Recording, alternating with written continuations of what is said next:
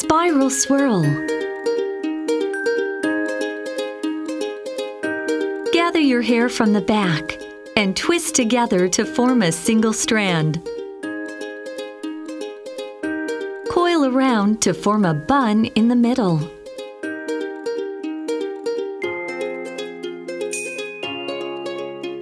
Use your left hand to keep the bun in place, while using your right hand to insert the spiral from the right hand side. Turn the spiral in a counterclockwise motion until the bun is secure.